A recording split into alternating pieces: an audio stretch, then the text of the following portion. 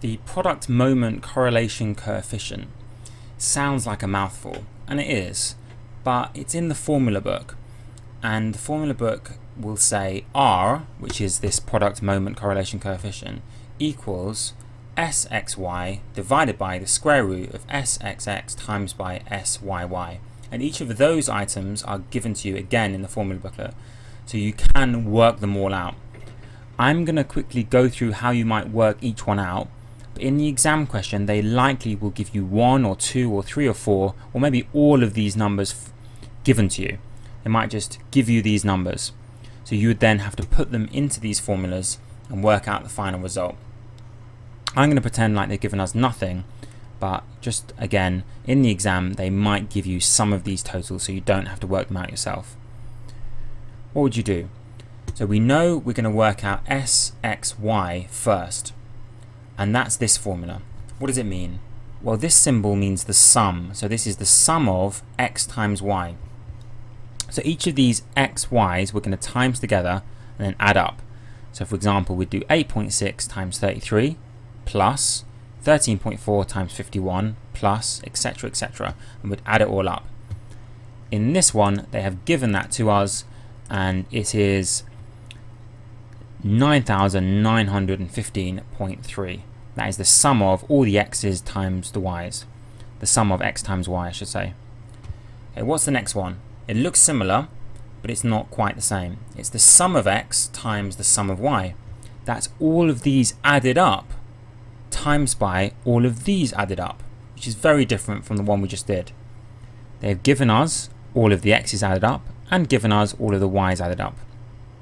So that's fine. We can simply times them together and then divide by n. n is how many numbers in each row. So how many numbers of x are there? Or how many numbers of y are there? It's not the total of both of them.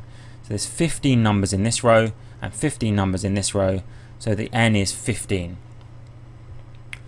So putting that into the formula, we have down here, I've done the working out, that's sxy is the sum of x times y take away the sum of x times the sum of y divided by 15 and that total is right here.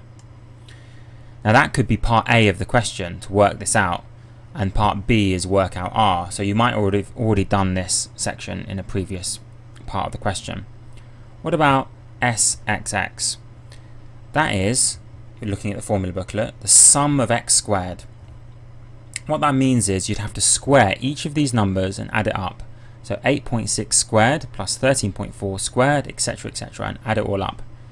Again, thankfully I've already done this, and the total was this. Take away the sum of x squared, which again is different. That does it's not the same thing as this. It's the sum of x, it's all these numbers added up, and that final answer squared, and it won't be the same number as you, what you got here. When you get that total, which we have, we're going to then divide it by n, which is 15. So we've got the sum of x, which is 176.9, and we're going to divide it by 15 after we square it. If we do the first answer, take away that number squared divided by 15, and we get this. Notice the divide is only on this section. You've got to be careful when using your calculator not to do all of this top line divided by 15 it's only this section divided by 15, so be very careful on the calculator. Using a similar method, we'd work out SYY, so the sum of all the y's squared, so this squared plus this squared plus this squared added together, take away the sum of y, so all of them added together, squared divided by n. So we get that total down here. Then we'd simply get each of these answers and put it into the overall formula which they give you at the front. And again, be very careful with the calculator. Make sure that you're getting the square root over the entire bottom line. So you might want to use brackets. And the answer would be 0.906. Finally, with the calculator, make sure you're using this fancy divide here, not the this symbol divide, because the calculator might get confused and think you mean this number divided by just the first term, but you mean divided by all of it. What does that 0.96 0.906 represent? What it means is that there is a correlation between these two things. The more vehicles there are, the more accidents, because this is a positive number. In fact, it's quite close to 1, so it is quite strongly correlated. the more, which makes sense. The more vehicles there are, the more accidents there'll be on the road. If this was a negative number, say negative 0.6, that would be negatively correlated. That means the more vehicles there are, the fewer accidents, which wouldn't really make sense. So make sure you understand what the number represents. If it's nearing 1 and it's positive, that's strongly positively correlated. If it's very low, almost at 0, that means there's no correlation. And if it's negative, say 0.6, 7 or so, that would be negatively correlated.